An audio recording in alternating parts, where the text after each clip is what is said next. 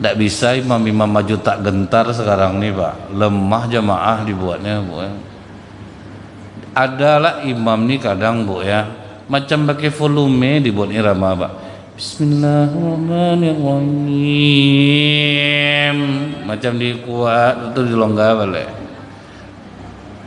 Itu pernah saya berimam pak. Jadi berdosalah kami yang sholat waktu karena jarang sama imam itu tuh tidak tahan ketawa kadang pak ya. Baca dimainkannya volume dia. Volume dia yang dimainkannya pak. Bukan volume ampli itu bu. Suaranya jadi mainkannya macam berampli. Alhamdulillahirobbilalamin nah, jadi makin kujung makin besar mungkin ada yang memuji bapak tuh bagus pak. Bapak buat macam itu tuh pak. Ada seninya mungkin tuh maka mengkek bapak tuh jadi itu kayak imamnya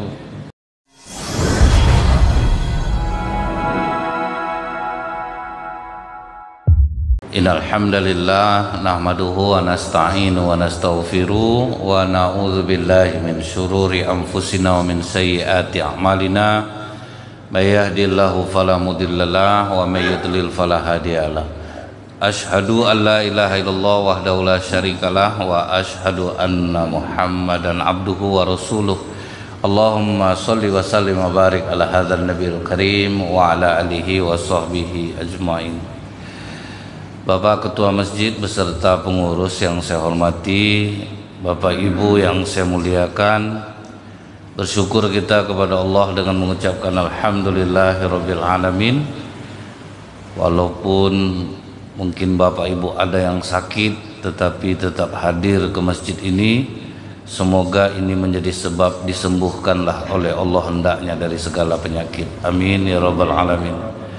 Bersolawat kita kepada Rasulullah sallallahu alaihi wasallam dengan ucapan Allahumma shalli ala Muhammad wa ala alihi wasallim. Semoga Allah ringankan lisan kita ini bersolawat terutama di bulan Sya'ban ini karena ayat tentang solawat itu turun di bulan Sya'ban jadi tentu ada keistimewaan kalau kita memperbanyak solawat di bulan Sya'ban ini insya Allah walaupun di hari Jumat juga teristimewa juga Pak kalau kita bersolawat. Bapak Ibu yang saya muliakan kalau kita lihat Pak di dalam Al-Quran Allah mengatakan wal takum minkum ummatu yad'una ilal khair wa ya'muruna bil ma'ruf wa 'anil munkar muflihun. Dan hendaklah ada di antara kamu segolongan umat yang menyeru kepada kebajikan menyuruh kepada yang ma'ruf dan mencegah dari yang mungkar. Mereka itulah orang-orang yang beruntung. Umat Islam ini tidak hanya soleh untuk dirinya sendiri dalam ayat ini kadang kita punya prinsip kalau tidak keluarga kita tidak usah lah kita ikut campur lagi. Jadi rupanya ayat ini menyuruh pak kita harus tetap menyampaikan yang baik mencegah orang dari perbuatan mungkar. Karena kata Rasulullah seperti orang dalam kapal kemudian ada orang di lantai bawah. Dia mau ngambil air payah dia bolak-balik ke atas. Timbul ide dia pak gimana kalau kita bolongkan aja sedikit kapal ini di bawah? Jadi kan dapat kita airnya. Tidak perlu kita ke atas lagi. Kalau sempat tidak ada yang melarangnya bu. Kecil memang lubang yang dia buat pak. Tapi sekapal akan ambruk. Nah itulah biasanya terjadinya musibah menimpa itu bu. Karena diamnya orang-orang baik. Nah, dia bisa mengajak orang kepada kebaikan tetapi dia tidak melakukannya tidak mau mencegahnya. Karena kita ini ada prinsip tuh bu ya kalau ndak urusan kita ndak usah kita ikut campur lagi. Padahal kita mampu pak untuk menghindari orang dari keburukan sifatnya tapi tidak kita lakukan. Makanya nih resikonya besar bu. Apa kata Rasulullah? Jihad yang paling besar itu menyampaikan kebenaran di hadapan orang zalim itu kan berisiko pak. Bisa kena ludahi kena siram air kena lempar. Cuman kadang kita kan ngambilnya yang aman-aman aja pak. Gak usah lagi. Nanti ngamuk pula dia nanti. Ya. saya salut seperti saya lihat tayangan dari Aceh Pak ya. Anak-anak muda sedang ngumpul di kafe itu bu. Datang Ustadz masuk dalam ngamuk dia dalam tuh Pak tidak tahu kalian ini udah jam berapa. Tidak sholat kalian. Nah itu tuh ya. Itu langka orang macam itu sekarang tuh mengingatkan itu tuh. Karena apa yang dilakukan dia ini sama persis dulu bu kan Rasulullah pak. Disuruhnya bila lazan diajaknya beberapa orang untuk keliling bu. Ada laki-laki yang tidak sholat subuh dibakar rumahnya kan kalau kita mendengar itu kan ekstrim nampaknya ya pak ya. Cuman itu semua dilakukan karena sayang. Kalau sudah Islam ini loh kewajiban kalian. Nah, jadi tidak pakai toleransi lagi. Kalau sudah Islam nah ini kewajiban kalian. Kalian lakukanlah. Nah, kalau kita kan kalau sekarang coba lah orang macam itu pak. Kau bakar rumahku kau bakarlah rumah kau. Tentu gitu tentu kita tidak seperti itu ya pak ya cuma paling tidak kita mau mengajak orang kepada kebaikan di dalam buku yang ditulis oleh Dr. Khalid Zuber Bu. Dia ini kan dokter jantung di rumah sakit jantung Riyad Pak. Dia buat satu buku pengalaman dia selama di rumah sakit. Ada orang yang bermimpi bertemu kawannya yang sakit. Dalam mimpinya itu Pak dia sudah seperti berada di surga. Kemudian ditanya oleh kawannya ini setahu aku wajar aja kau di surga karena kau waktu di dunia memang taat beribadah. Justru kawannya ini menjawab bukan karena itu aku masuk surga terus kenapa kalau ibadahku itu terlalu sedikit Aku pernah mengajak kalian sholat asar berjamaah di saat kalian main pimpong. Terus kalian berhenti main pimpong. Itu tuh yang besar. Ah, nahi mungkarnya itu rupanya yang membuat besar pak. Mengajak orang kepada kebaikan. Makanya jamaah tablik itu bu rela ke mana-mana karena dia tahu ini kalau diandalkan dari ibadah kita tidak cukup rasanya pak. Ditambahlah dengan mengajak orang kepada kebaikan atau orang kadang kan bu ya, ya jemaah tablik itu kadang istri sama anak tinggal. Atau dia pergi ke mana-mana. Banyak orang mencari duit bu enam tahun tidak pulang-pulang lagi tidak pernah ada jadi masalah sama orang. Nah, itu tipu daya iblis tuh sehingga kita melihat dari sisi yang lemahnya tidak dari sisi yang lainnya. Kalau orang mencari duit tidak pulang-pulang pasti biasa tuh dibilang orang. Ini nama suaminya merantau. Tapi coba kalau udah ikut jamaah tablik pasti jadi umpatan sama orang. Istri tinggalnya dia pergi ke mana-mana. Padahal untuk kebaikan nih pak. Jadi memang itulah resikonya bu. Fitnah di dalam kebaikan orang sekarang bu melihat orang selingkuh bu biasa lah itu orang berduit. Biasa aja. Tapi coba dengar Ustadz Nazril beristri lagi. Konda eboh nih pak? Jadi yang halal jadi haram sekarang pak. Yang haram ah jadi halal. Kan banyak bu orang digerebek di hotel apa paling biasalah nama orang berduit.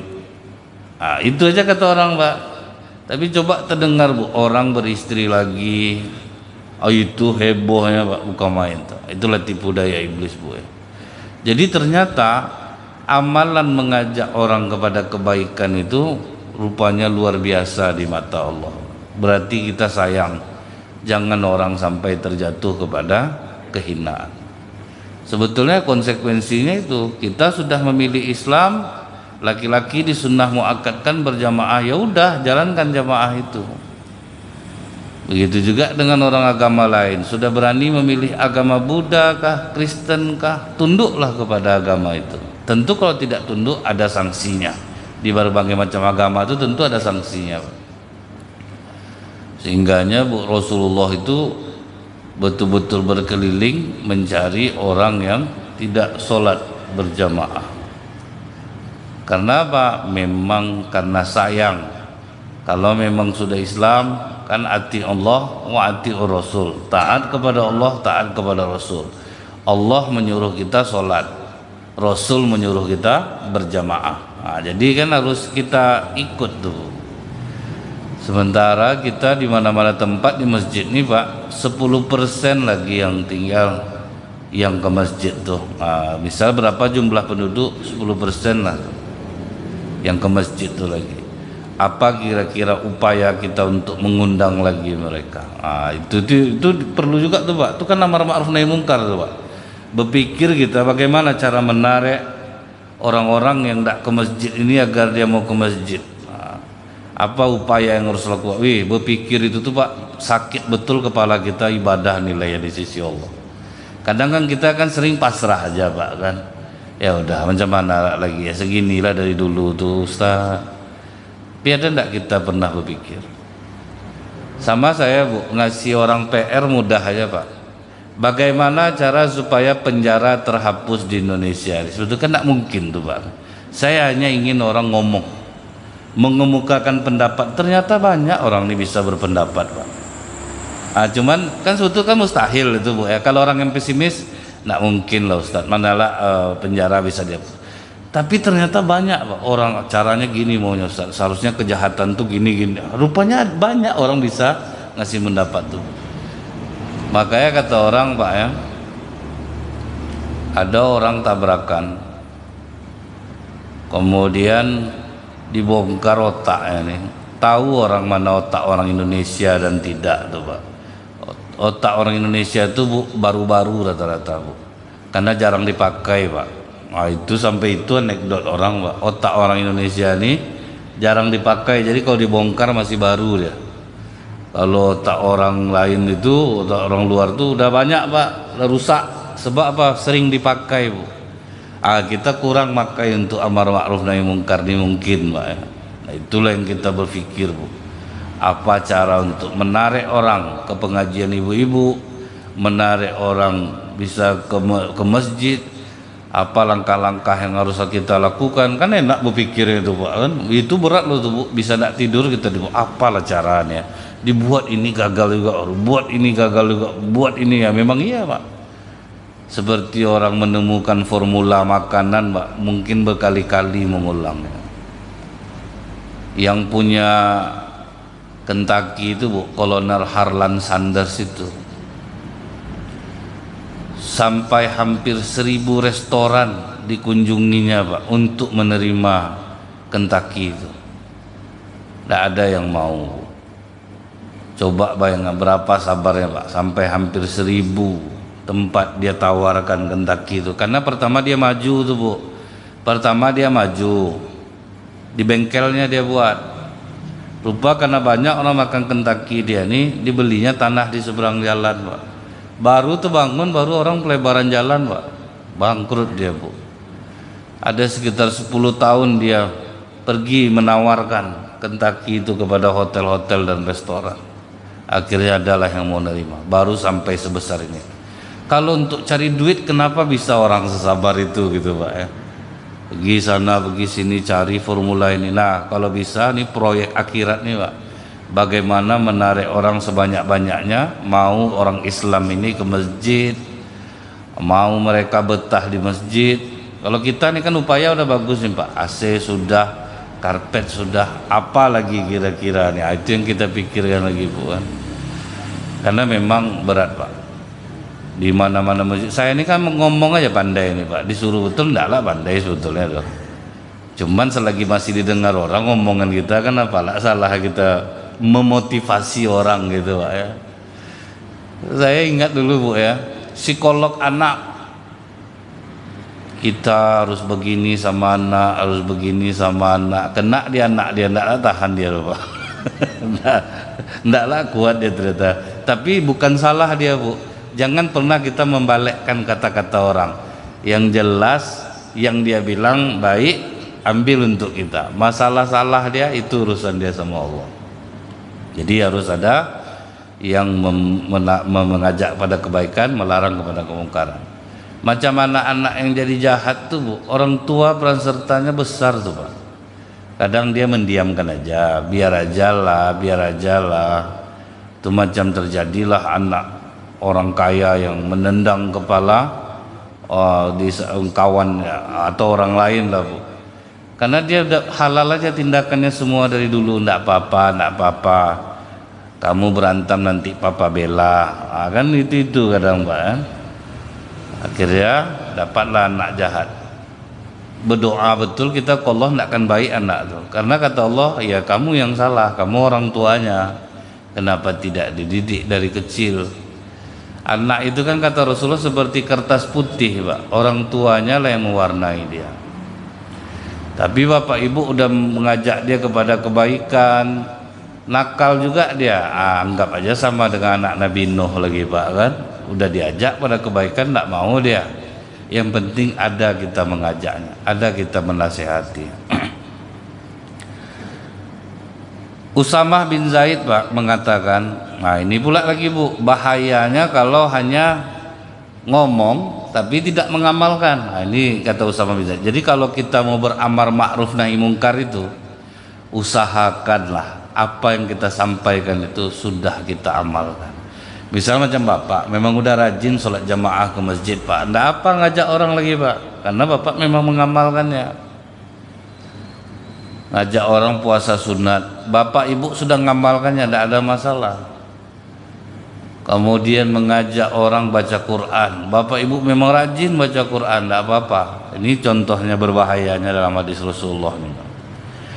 Seseorang akan dipanggil besok di hari kiamat lalu dilemparkan ke dalam neraka. Sampai dia dalam neraka ususnya pun terburai. Tapi tidak mati Pak. Ya di neraka itu kan pasti tidak akan mati-mati Bu. Makanya kata Rasulullah di neraka itu ada orang minta mati. Dulu waktu di dunia minta hidup terus Pak. Kalau bisa jangan mati. Sakit sedikit langsung berobat, sakit sedikit langsung berobat. Takut betul mau mati. Minta ya Allah panjangkan umur aku ya Allah. Aku nak mengendong cucu aku. Aku nak mau pergi ke situ. Kalau udah di neraka kata Rasulullah banyak orang yang minta mati tapi tidak mati-mati nah, itu besok neraka. Udah terempas dia di dalam neraka udah terburai ususnya. Jalan dia terus pak di neraka atau membawa ususnya yang terburai itu. Datanglah berkumpul ahli-ahli neraka. Bukankah engkau dulu di dunia suka menyampaikan kebaikan dan melarang kami dari keburukan? Kemudian orang ini menjawab memang betul di dunia aku sering mengajak kalian kepada kebaikan sementara aku tidak melakukannya aku larang kalian dari keburukan sementara aku melakukannya nah. Ini kan introspeksi diri ke diri kita masing-masing nih Pak. Apalagi kami ustadz-ustadz nih Bu kan. Kadang disuruhnya orang bersedekahlah Bapak Ibu. Itulah modal kita lagi ke akhirat. Dia pelit minta ampun kadang Bu. Lewat kota infak 2000 kepanjang di sini. Ya nih Pak, kita kita membalikkan Bu ya ke bidang agamanya aja Bu kadang kami itu ada ceramah bu karena udah susah hidup pak payah cari kerja lain lagi enak ceramah lagi pas pus pas pus 15 menit lumayan duitnya. Kerja kita dari pagi sampai sore ada tuh bu yang jadi tidak ada pilihan lain. Nah seolah-olah itulah pak. Jadi pokoknya di ceramah dia dapat duit. Di ceramah dia dapat duit. Bukan tidak banyak seperti itu bu. Nah jadi kadang dia menyampaikan sedekahkanlah harta yang kita cintai. Itulah yang tertinggi di sisi Allah. Rupa nak ustaz ni dengar bu. Bapak aku ni cinta sama ayam bangkok ya. Pulang dia ke rumah disedekahkannya ayam bangkok bapaknya tu pak. Pulang pengajian tengok bapak mana yang bangkok bapak? Saya sedekahkan pak. Ngapalah kau sedekah kan Bapak kan bilang sedekahkan yang dicintai. Deh kaji itu untuk orang nak, bukan untuk kita. Untuk orang dia bilangnya, bukan untuk dia. Jadi kami ini bu termasuk tidak aman nih pak.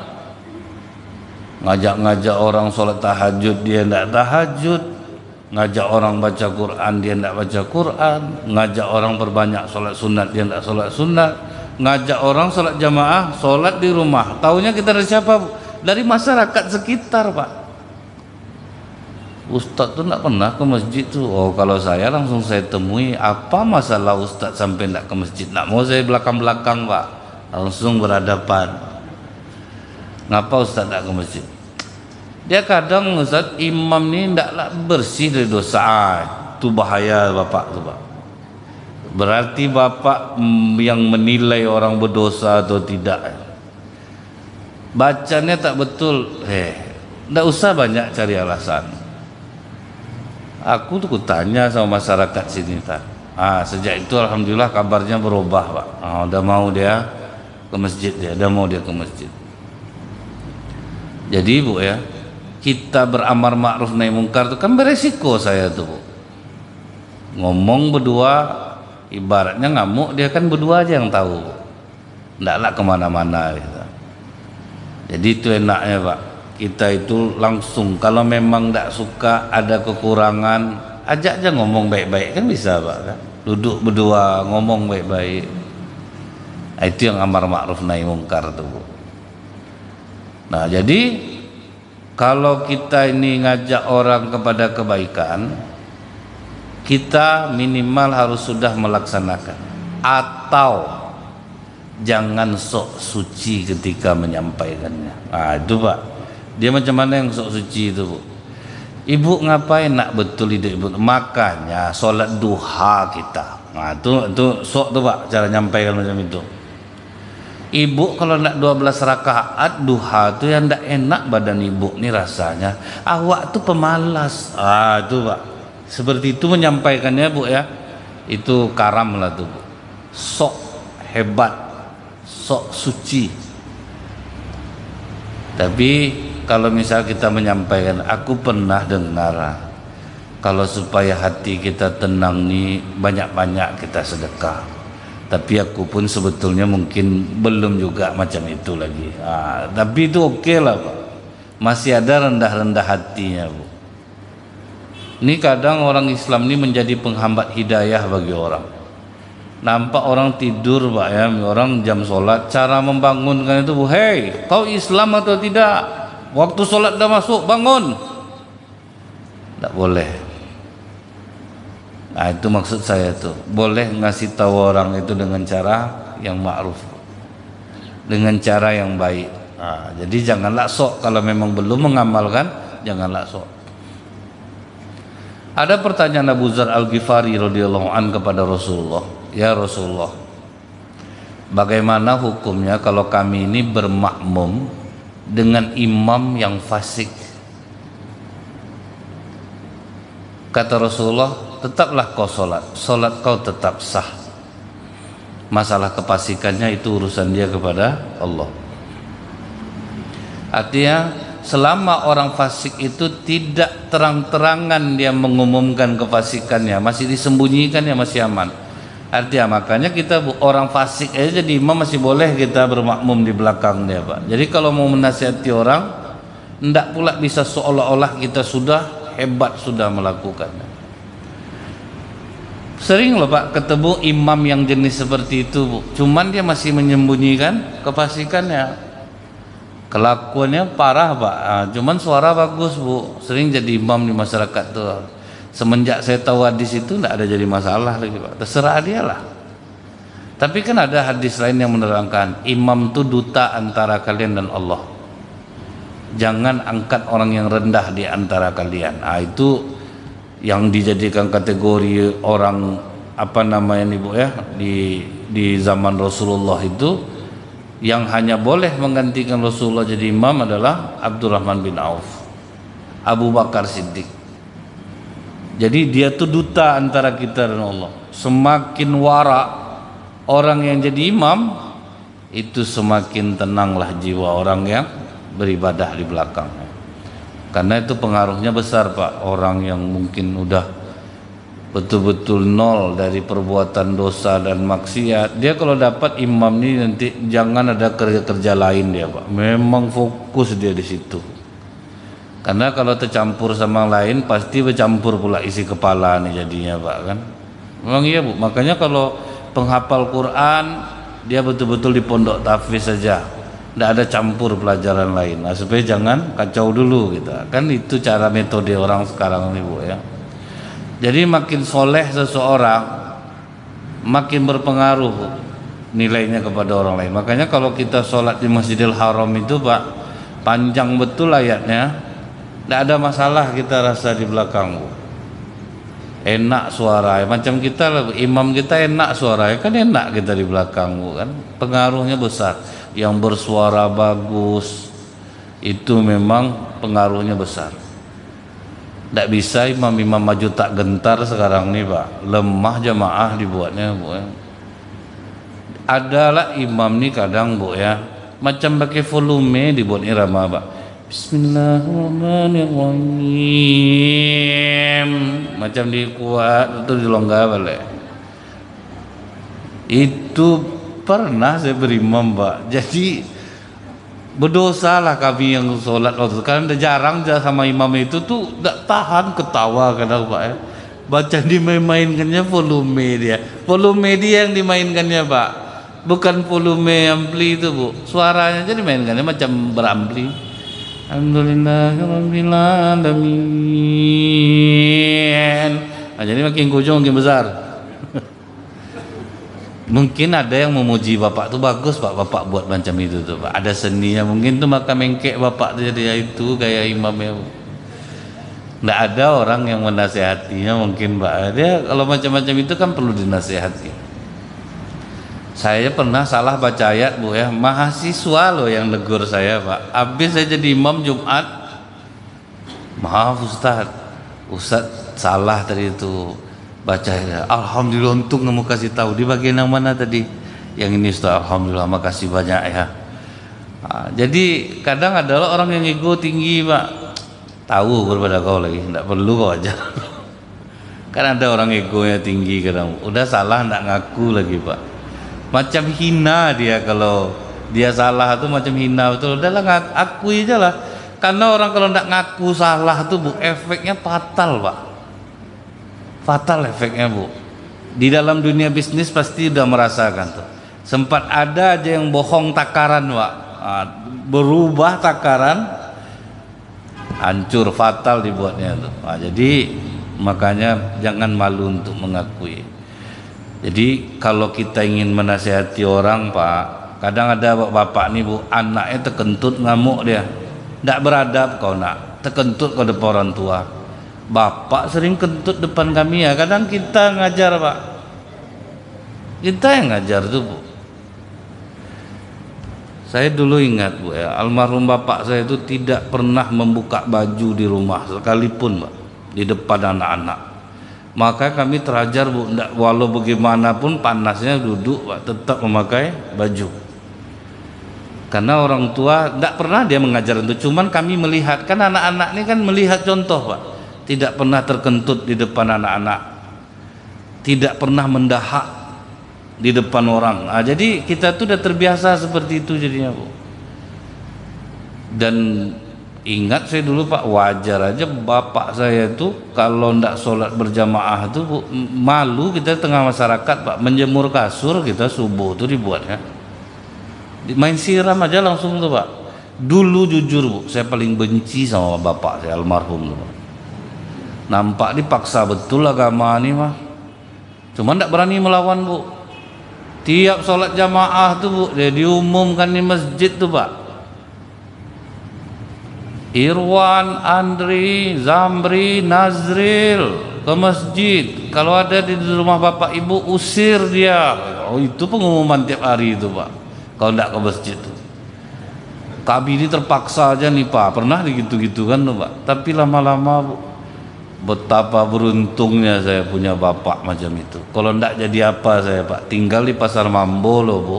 Tempat judi bebas, diskotik bebas ah, kami di tengah itu tuh bu kalau nak macam itu bapak saya dulu dah mungkin jadi pejudi besar saya dah jadi orang di dunia malam jadinya. Dulu benci itu pak. Ah, udah lama baru terasa bu udah nikah baru kita alami masya Allah. Untung orang tua kita keras. Kalau tidak terjadi apa ini jadi dia menyampaikan itu bu ngajak sholat jamaah setruk pun bapak saya pak tidak meninggalkan sholat jamaah. Boleh ditanya ke masyarakat pasar mambo itu siapa yang tuhan bapak saya itu boleh dibilang tidak pernah meninggalkan sholat berjamaah. Jadi kami ini bagian dari doa-doa dia itulah tuh pak. Yang memang dia berdoa terus bu ya. Sampai udah pernah muntah di masjid dia bu. Langsung diambil kota idfa. Padahal udah uzur dia harusnya tuh pak udah boleh sholat di rumah tapi tidak mau dia tetap sholat di masjid itu jadi kalau dia menasihati kami sholatlah kalian ke masjid, wajar dia melaksanakannya pak. Tahajudlah kalian, wajar bu. Bapak saya itu sebelah kaki tetap berdiri tahajud malam pak. Jadi kadang itu yang kami pandang malu. Saya takut dia jatuh, saya tengok pak. Rupa kokoh pak, sebelah kaki aja. Sholat tahajud ini tidak tinggal nih pak. Sampai dia hari akhir hidupnya. Cuman saya melihat dia habis sholat isya banyak dia sholat sunat waktu itu pak. Itu dia mau meninggal malam itu tuh bu. Masih banyak dia sholat sunat malam itu. Cuman tanda-tanda sama sekali tidak ada pak. Nah, kalau tanda-tanda tidak dikasih oleh Allah kita. Dicocok-cocokkan pun tidak jumpa. Karena memang betul biasa. Memang betul-betul biasa jadi kalau macam orang seperti itu menasihati ngajak sholat wajar pak keras dia melaksanakannya. Nah balikkan ke kita bu. Kita tuh udah melaksanakan dah apa yang kita sampaikan. Kalau belum tolonglah rendah hati sedikit. Ah, itu itu pak ya. Tolong rendah hati sedikit menasihati orang. Tapi kalau sudah rasanya sudah istiqomah tidak apa-apa lah. Karena apa bu? Mungkin bapak ibu masih ingat hadis ini besok di neraka itu di surga ada orang yang punya tiga amalan besar akhirnya masuk neraka. Yang pertama orang mati syahid.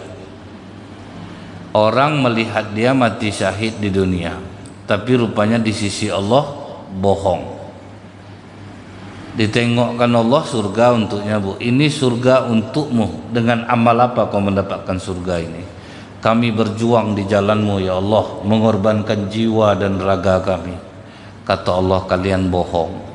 Kalian berjuang agar kalian dipuji-puji orang agar kalian mendapatkan gelar seorang mujahid. Kalian sudah mendapatkan pujian itu di dunia. Silahkan masuk ke dalam neraka. Siapa sahabat Rasulullah yang kena hukuman ini Pak? Kotsman namanya Pak.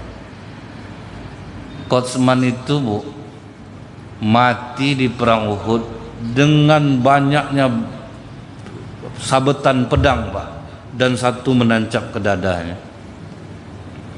Dia maju dengan gagah berani waktu di perjuangan itu. Kata sahabat beruntung Kotsman ya Rasulullah dia mati syahid dan masuk surga. Kata Rasulullah tidak Kotsman di neraka. Rupanya dia apa bu dia tuh berjuang untuk mendapatkan pujian dari sukunya. Jadi berjuang tuh untuk mewakili sukunya. Bukan karena Allah.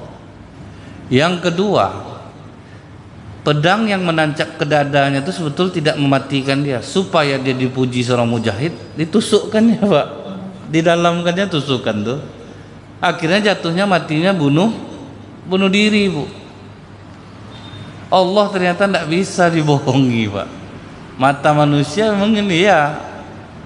Jadi orang mati syahid betul di sisi manusia belum tentu syahid di sisi Allah. Jadi orang ingat nih orang yang mati syahid di perjuangan itu yang seperti apa? Ah gitu ya Bu ya. Jadi jangan sampai salah-salah dianggap syahid justru malah uh, bahaya nanti di sisi Allah ini. Nah yang kedua bu, siapa yang punya amalan besar yang akhirnya masuk ke dalam neraka itu? Ustadz-ustadz, ulama-ulama. Ditengokkan Allah surga untuk para ulama ini. Dengan amal apa kalian mendapatkan surga ini? Kami berdakwah ke mana-mana dengan ilmu yang kau berikan ya Allah. Kami ajarkan orang Islam untuk dekat kepadamu. Kata Allah kalian bohong. Dengan ilmu kalian tuh kalian sering berdebat satu sama lain. Kan banyak sekarang tuh pak. Berdebat satu sama lain bu. Ini bilang dia betul ini bilang dia betul ini bilang dia betul. Lah berkelahi kita sama kita ini ya? Dengan ilmu itu belum tentu pula kita berniat mengajak orang kepada kebaikan Kadang dibuat-buat bu amalan-amalan yang sebetulnya tidak ada itu lebih menyesatkan loh pak. Apalagi juga amalan-amalan di bulan Syaban nih sebanyak banyaknya tuh bu ya. Hadis inilah kalau kita puasa satu hari di bulan Syaban begini, dua hari bulan Syaban begini, akhirnya niat orang puasa udah tidak apa lagi pak. Puasa aja lah, perbanyak aja lah puasa, jangan ada embel-embel ini itu ini itu. Benilailah di sisi Allah karena hadisnya memang ada Rasulullah itu banyak berpuasa sunat di bulan Syakban. Udahlah itu aja lah buat. Ah, masuklah bu hadis-hadis ini. Satu hari dapat seribu bidadari. Menyakitkan hati istri nampak suami puasa ngamuk ada salah puasa bang bang. Seribu lah bidadari apa nanti salah bang? Itu itu lagi pak. Padahal tidak ada seperti itu kalau mau mobil solawatin aja kan ndak ndak aja tuh pak. Mana lah mungkin bu ya pergi ke showroom tuh kita bantai solawat dekat mobil tuh kemarah lah, lah orang showroom pak. Jadi apa bu ya? Kita bekerja kita bersolawat memang dianjurkan oleh Allah kemudian terserah Allah nanti kalau tidak dapat mobil tuh sakit hati kita pak. Percuma solawat lah untuk, udah untuk itu solawat lagi bu.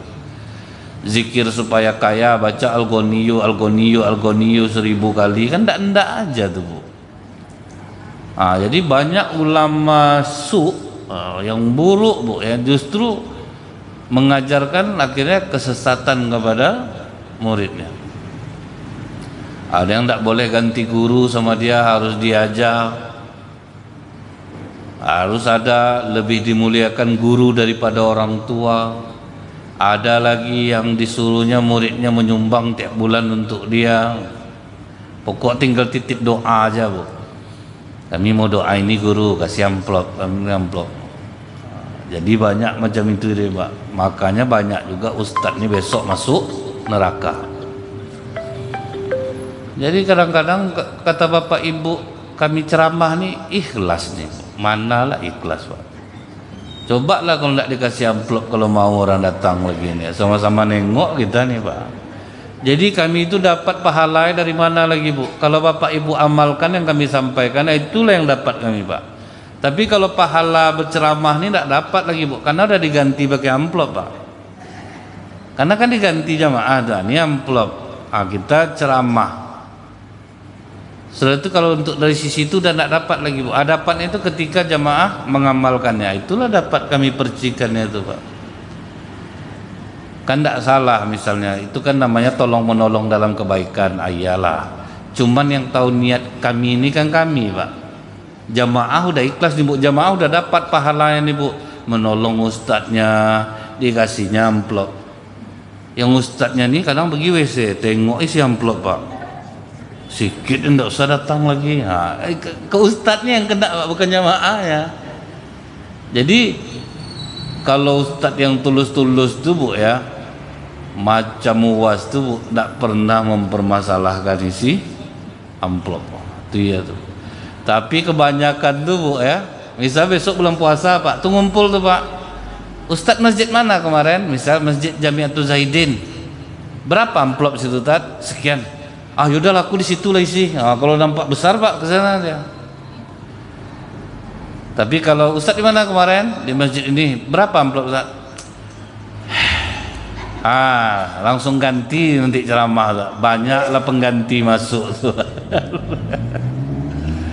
jadi itulah bu. Tidak bisa pula ibaratnya macam kami ini. Oh baik. Ah, kalau orang yang tidak ustadz tu tidak baik belum tentu Cuman Bapak Ibu doakanlah kami ini supaya istiqomah di jalan kebaikan. Nah, kemudian yang ketiga yang masuk neraka yang beramal besar itu siapa Pak? Orang dermawan Pak. Nah, itu yang kasihan ya Pak kan. nyumbang udah banyak ke sana kemari apa untuk kepentingan umat selalu menyumbang ah tidak tahunya masuk neraka jadi bu disebabkan apa ingin dipuji ingin disebut-sebut dan itu pak memang berat tuh pak. Amalan menyumbang tidak menyebut-nyebut tuh pak berat pak. Tapi kalau misal bisa kita lolos pak pokok cara lolosnya itu apa bu? Asal dipuji orang ya Allah jadikan aku seperti yang dia sangkakan. Alhamdulillahirrabbilalamin balikkan pujian tuh ke Allah ini kadang dipuji di pelurusnya pula bu banyak ibu nyumbang di masjid bu ya. Allah macam baru tahu aja kalian majak dulu ibu macam ini lagi. Ah, itu dia susah tuh pak.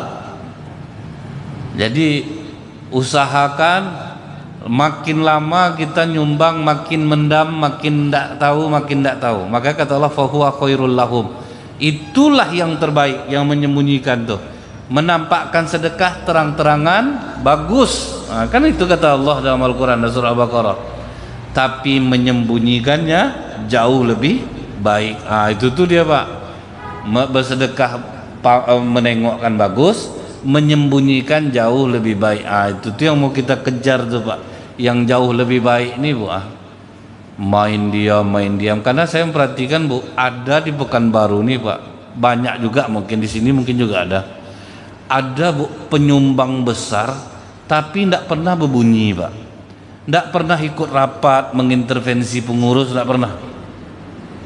Pokok terserah pengurus mau buat program, dia cuma menyediakan uang aja. Tapi ada penyumbang kedua bu, makin banyak dia menyumbang macam dia punya masjid tuh pak, macam dia pribadi punya, sampai semua diatur ya pak. Ustad-ustadnya, imamnya apa dia, sampai stres lah dia tidak pengurus bu, tapi powernya kuat di masjid dia, karena penyumbang besar. Jadi kita berharap tuh ada penyumbang macam tipe pertama ini bu. Menyumbang besar tapi diam. Tidak pernah ikut campur urusan masjid. Ah itu tuh yang selalu saya. Saya ketemu ini orang langka nih bu. Rata-rata orang kalau udah menyumbang tuh berbunyi rata-rata pak. Banyak idenya. Ide banyak pak. Ah. maunya ini nih pak ketua mau ini pak ketua. Ah, dia banyak nyumbang. Tentu kita dan Muhammad ini kan tidak boleh dilawan bu. Tentu kita iya iya jadi kan menderita kita mengiyakan dia lama-lama pak kan Nah, jadi itulah Bu. Kemudian Bu, kalau kita ingin beramal ma'ruf nahi mungkar ini, ini kata Abu Darda, siapa menasehati saudaranya di khalayak ramai, berarti dia telah mempermalukannya. Kalau di saat sepi, maka ia telah menghiasinya. Ah, jadi ini syarat beramal ma'ruf nahi mungkar itu Bu. Jangan di depan orang ramai menasehati orang. Itu Ustaz menasihati itu. Saya kan tidak ada di pesan Bapak Ibu nanti tolong sampaikan ini Ustaz tidak ada. Saya tidak tahu. Kalaupun ada penyumbang yang diam di sini saya tidak tahu. Penyumbang yang sering keluar-keluar pun saya tidak tahu juga. Cuman ini kan secara umum Bu. Tidak ada di dalam forum ini saya menyampaikan Bapak, Ibu tidak ada. Jadi kalau di depan orang tidak boleh menasihati orang. Itu mempermalukan. Contohnya Bu ya Ibu sedang cerita di belakang. Datang saya ngomong, "Bu, tolong diam, Bu. Saya lagi bicara." Tersinggung Ibu enggak? Malu enggak, Bu? Ah, itu tuh yang dihindari itu, Pak. Jangan mempermalukan orang. Jadi kalau kita ingin menasihati orang dalam diam, sembunyi, jangan di depan orang. Seperti yang beberapa kali saya lakukan, Bu. Itu beresiko tapi aman, Pak. Dia benci-bencinya ke saya aja dan orang tidak ada dia berduduk berdua. Saya ada menasehati cerita sama seorang kiai yang hidup dari mengemis. Di mana ada tempat ngemis santrinya bu. Ah itu tuh. Saya bilang mobil antum ganti-ganti. Anak-anak disuruh ngemis di pom-pom bensin. Kapan anak-anak itu belajarnya itu pak? Dia katanya masuk pesantren nih tapi disuruh ngemis. Wah kota infak di pom bensin? Sampai hari ini pun masih ada. Baru sana saya tahu bu. Orang kalau udah biasa mengemis-ngemis itu untuk kepentingan pribadi dia urat malunya putus pak. Memang dicabut oleh Allah rasa malu. Itu yang ngeri dah saya lebih menyarankan bu kalau mau sedekah mau nyumbang nih ada di dekat kita nih. Masjid kita anak yatim kita fakir miskin kita jelas nampak di depan mata semua pak. Jadi dibilangnya dia gini sebetulnya Ustadz karena pesantren ini membutuhkan biaya besar. Kau tidak tidak bisa rasa jangan buka. Jangan menyusahkan orang jangan sampai ditegakkan anak-anak itu di situ. Sementara hidup kiai bagus.